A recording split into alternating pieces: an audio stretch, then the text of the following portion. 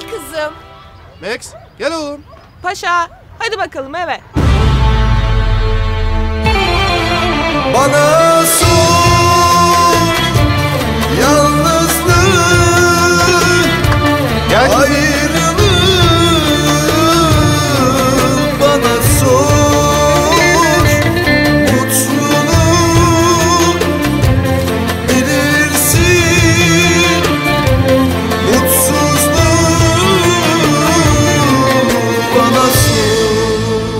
Sen ne tatlı bir şeysin öyle. Seni hiç yalnız bırakır mıyız biz?